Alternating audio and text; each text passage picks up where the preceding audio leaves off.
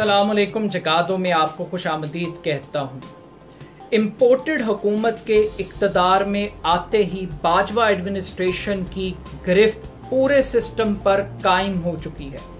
गुजशत रोज़ वज़ीर अजम शहबाज शरीफ की जानब से एक नोटिफिकेशन जारी किया गया, जिसके मुताबिक पाकिस्तान की सबसे मोतबर सिक्योरिटी एजेंसी आईएसआई को ये इख्तियार दिया गया है कि वो स्क्रूटनी करेगी स्क्रीनिंग करेगी उन तमाम ब्यूरोक्रेट्स की जिनकी तकर्री और तैनाती के फैसले किए जाएँगे।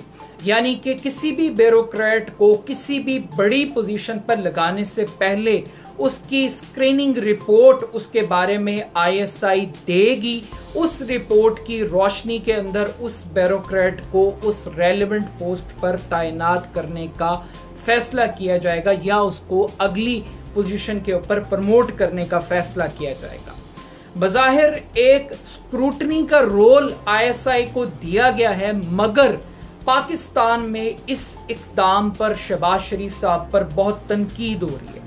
शहबाज शरीफ साहब उस पार्टी से ताल्लुक रखते हैं जो सिविलियन बालादस्ती का नारा लगाती है। मगर शहबाज शरीफ साहब का ये इकदाम उस सिविल बालादस्ती के नारे की नफी करता है। उसकी बुनियादी वजह यह है कि जो बैलेंस ऑफ़ पावर है इदारों के दरमियान सिविल और मिलिट्री रिलेशनशिप में, ये एक इकदाम उस बैलेंस को खराब कर रहा है। और इसी खराबी की बुनियाद पर बहुत सारे संजीदा हल्के खदशात का इजहार कर रहे हैं। ये वो इदारा है जिसके सरबराह की तैनाती इस कदर हसास मामले की नोयत इख्तियार कर जाती है, जिस पर वज़ीर आज़म को भी घर जाना पड़ जाता है, हुकूमत तब्दील हो जाती है। चंद रोज कबल इमरान खान साहब ने, जो कि अपॉइंटिंग अथॉरिटी थे कानूनी तौर पर D G I S I को लगाने के हवाले से, जब इमरान खान साहब ने एक समरी पर दस्तखत नहीं किए, वो जनरल फैज हमीद को हटाना नहीं चाहते थे तो फिर फौज की जानब से एक इंतहाई कदम देखने में आया और हमने देखा कि इमरान खान साहब को सजा के तौर पर इकतदार से अलहदा कर दिया गया। एक पॉलिटिकली इलेक्टेड गवर्नमेंट को घर भेज दिया गया। क्यों? क्योंकि army chief general Faiz Hameed को मजीद डी जी आई एस आई नहीं रखना चाहते थे। अब इस ताकत से आप अंदाज़ा लगाएँ कि एक इंटेलिजेंस एजेंसी जो खुद वज़ीर आज़म के मातहत है, वज़ीर आज़म उस इंटेलिजेंस एजेंसी के चीफ को तब्दील करने की ताकत नहीं रखता। जब कल को इंटेलिजेंस एजेंसीज अपनी रिपोर्ट्स देंगी तो उन रिपोर्ट्स के ऊपर अमल ना करने का मतलब क्या होगा? उन रिपोर्ट्स को कौन ना कह सकेगा? उन रिपोर्ट्स को कौन नज़रअंदाज करेगा और उसकी क्या कीमत अदा करनी पड़ेगी? इसका दूसरा मतलब ये है कि यानी कि अब मिलिट्री ये डिसाइड करेगी सिक्योरिटी इस्टेब्लिशमेंट ये डिसाइड करेगी कि पंजाब का चीफ सेक्रेटरी कौन होगा सेक्रेटरी लॉ कौन होगा सेक्रेटरी दाखिला किसको लगाना पड़ेगा? और जब आप ये पैटर्न सेट करेंगे तो इसके बाद जो सिविल ब्यूरोक्रेसी है, वो गेट नंबर चार की तरफ़ देखेगी अपनी प्रमोशंस के लिए। वो गेट नंबर चार को आंसरेबल होगी, पॉलिटिकल गवर्नमेंट को, ना तो वो आंसरेबल होगी और ना ही वो उनकी इंस्ट्रक्शंस को संजीदा लेगी। ये एक बड़ा डिस्ट्रैक्टिंग किस्म का एक पावर स्ट्रक्चर के अंदर एक तबाही की जानिब एक कदम है। अब हम देख रहे हैं कि पाकिस्तान के अंदर पहला इख्तियार तो इन इंटेलिजेंस एजेंसीज को पॉलिटिशियंस तैयार करने का दिया गया। दिया गया या इन्होंने ले लिया या उस वैक्यूम को पाकिस्तान की सिक्योरिटी इस्टेब्लिशमेंट ने फिल किया। उसका नतीजा ये निकला कि हमें पाकिस्तान के अंदर हाइब्रिड पॉलिटिकल लीडरशिप मिली।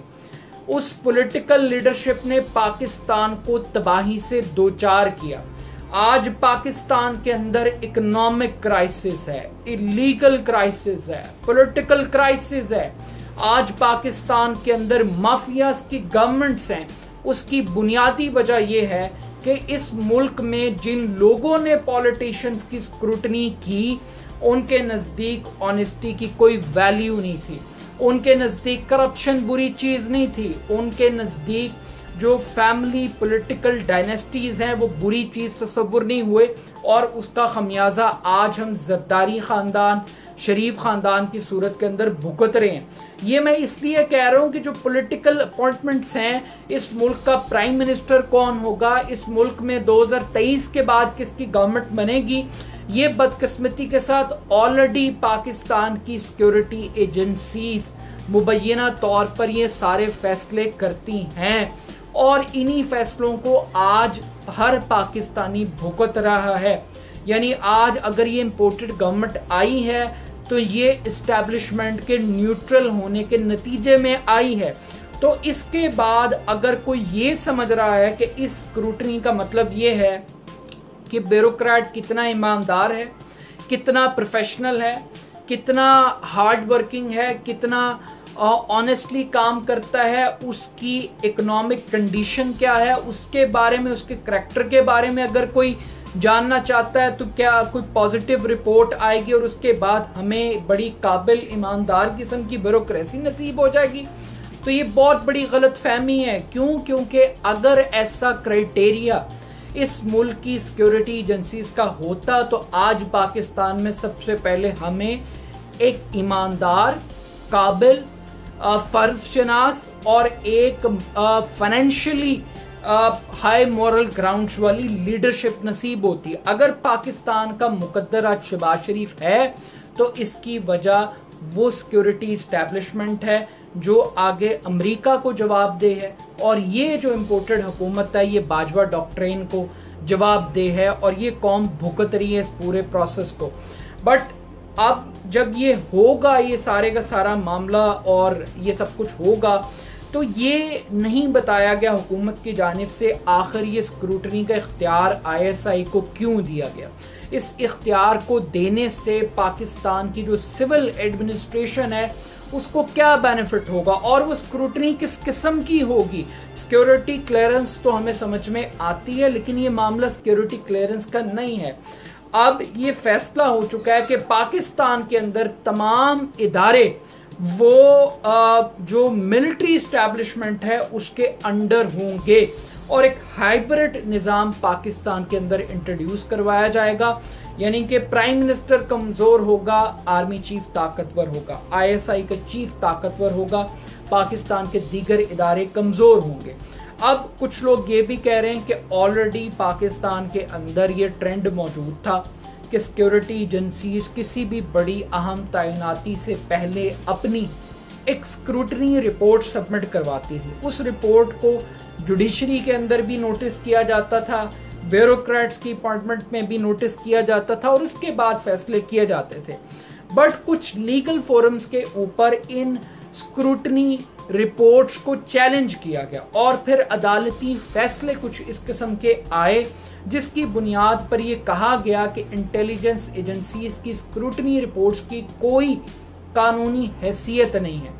अब जबकि शबाज शरीफ साहब ने उनको बाकायदा तौर पर यह इख्तियार दे दिया है कि वो स्क्रूटनी करेंगे तो किसी ब्यूरोक्रेट को अपॉइंटमेंट मिलेगी, किसी ब्यूरोक्रेट की प्रमोशन होगी तो इसके बाद अब एक लीगल राइट आईएसआई के पास बकायदा तौर पर आ गया। अब इस लीगल राइट की एक जो पॉलिटिकल नीड बताई जा रही है, वो बुनियादी तौर पे ये बताई बताई जा रही है कि बाजवा साहब को ये कम्युनिकेट किया जा रहा है कि शबाज शरीफ साहब, चूँकि उनको पहले भी इमरान खान साहब चेली ब्लॉसम जैसे ताने देते हैं बूट पॉलिश करने की ताने देते हैं तो वो शबाज शरीफ साहब सिक्योरिटी इस्टेब्लिशमेंट को मैसेज दे रहे हैं कि जनाब आप हुकूमत की बात कर रहे हैं, हम पूरी की पूरी सिविल एडमिनिस्ट्रेशन को आपके हवाले कर रहे हैं। जिसको कमिश्नर लगाना है, जिसको चीफ सेक्रेटरी लगाना है, सेक्रेटरी फाइनेंस लगाना है, सेक्रेटरी लॉ लगाना है, जिसको भी जहाँ लगाना है। सरकार आपने लगाना है, हमारा तो बस सिर्फ़ एक नाम है। असल प्राइम मिनिस्टर भी आप हैं, ब्यूरोक्रेसी भी आप हैं, एडमिनिस्ट्रेशन भी आप हैं। तो वो ये मैसेज कम्युनिकेट करने की कोशिश करें एक सैड रियलिटी है आईएसआई की बहुत कंट्रीब्यूशन है पाकिस्तान के सिक्योरिटी चैलेंजेस से निपटने में उनका एक बड़ा एक वाइटल रोल है। उस रोल को कोई डिनाई नहीं कर सकता। लेकिन एक सैड रियलिटी है कि जिस तरीके से पाकिस्तान की इंटेलिजेंस एजेंसीज वो पॉलिटिक्स में इंटरफेयर करती हैं। वो अपने उस आइनी इख्तियार से बाहर निकल के एडमिनिस्ट्रेटिव कंट्रोल करने की कोशिश करती हैं तो फिर निज़ाम के अंदर तबाही आती है। फिर टेलीफोन कॉल्स के लिए जिस तरीके से पॉलिटिशियन जीएचक्यू का इंतज़ार करते हैं अपनी वफादारियाँ तब्दील करने के लिए, इस फैसले के बाद कल ब्यूरोक्रेट्स भी इंतज़ार करेंगे कि उनको गेट नंबर चार से क्या टेलीफोन कॉल आती है। उन्हें प्राइम मिनिस्टर को फॉलो नहीं करना, उन्हें पॉलिटिकल गवर्नमेंट को जवाब नहीं देना। उनकी अटेंडेंस उनकी तरक्की, उनकी पॉलिसी जीएचक्यू के साथ अटैच हो जाएगी। क्यों? क्योंकि जितनी अच्छी रिपोर्ट और रिकमेंडेशन आईएसआई देगी, उतने ज़्यादा चांसेस होंगे किसी ब्यूरोक्रेट के तरक्की करने के या यूँ कह लीजिए कि एक अच्छी पोजीशन हासिल करने के लिए। तो फिर एक तरह से सिविल मिलिट्री रूल यहाँ पर एक नए तरीके से इंट्रोड्यूस करवा दिया जाएगा। मगर इस पॉलिटिकल रोल की वजह से, इस पावर हंगरी स्टैब्लिशमेंट एप्टीट्यूड की वजह से पाकिस्तान के अंदर इंटेलिजेंस एजेंसियाँ बदनाम हो रही हैं। बदनाम इस वजह से हो रही हैं कि यहाँ पर दो एक्सट्रीम्स हैं। एक एक्सट्रीम जरदारी साहब की थी, जो ये चाहते थे कि आईएसआई मुकम्मल तौर पे सिविल एडमिनिस्ट्रेशन के कंट्रोल में आ जाए। और दूसरी एक्सट्रीम ये थी कि आईएसआई जो है उसको मुकम्मल तौर पे जितने पॉलिटिकल इख्तियार हैं अपार्टमेंट्स के, तैनातियों के प्रमोशंस के, वो भी उनके हवाले कर दो। ये दोनों एक्सट्रीम्स पोजीशन है। एक तरफ़ के आईएसआई को बिल्कुल स्क्वीज कर दो और दूसरी तरफ़ आईएसआई को सब कुछ दे दो जो उनके इख्तियार में नहीं आता। ये सैड रियलिटी है। अभी कुछ अरसा पहले हमें पीएमएलएन के लोग बताते थे कि प्राइम मिनिस्टर साहब जो है वो इंटेलिजेंस एजेंसीज को इस्तेमाल करते हैं। लोगों के कान में रोड़ने के लिए, उनकी मुखबरियाँ करने के लिए इमरान खान साहब के बारे में ये बातें कही जाती थी। मगर आज जब आप ब्यूरोक्रेट्स को उनके रहम करम पर छोड़ देंगे तो आई थिंक के इदारों के अंदर किसी को प्रमोट करने का, किसी की अकाउंटेबिलिटी करने का सेल्फ मैकेनिज्म होना चाहिए। अब ये स्क्रूटनी रिपोर्टें कितनी वेटेज रखेंगी किसी भी शख्स की तैनाती के लिए और कितनी अनबाइस्ड होंगी ये तो आने वाला वक्त ही बताएगा, लेकिन अब ये इदारे, ये एजेंसियाँ बदकिस्मती के साथ बदनाम हो चुकी हैं। इस बदनामी की सिर्फ़ एक एग्ज़ाम्पल मैं आपको देना चाहता हूँ कि अभी सुप्रीम कोर्ट ऑफ़ पाकिस्तान ने कहा है कि एक हफ़्ते के अंदर 25 मई को इमरान खान साहब ने जो लॉन्ग मार्च किया है उसकी रिपोर्ट सबमिट की जाए। इसमें आईएसआई को आईबी को कमिश्नर इस्लामाबाद को कहा गया कि वो रिपोर्ट सबमिट करें। इस रिपोर्ट के ऊपर इमरान खान साहब अब ये कह रहे हैं कि ये तो सरकारी कमेटी है। ये तो वो लोग हैं जिन्होंने शेलिंग की है। ये वो लोग हैं जो हमारे अगेंस्ट पार्टी हैं तो हम इनको मानते नहीं न्यूट्रल नहीं तस्वुर करते।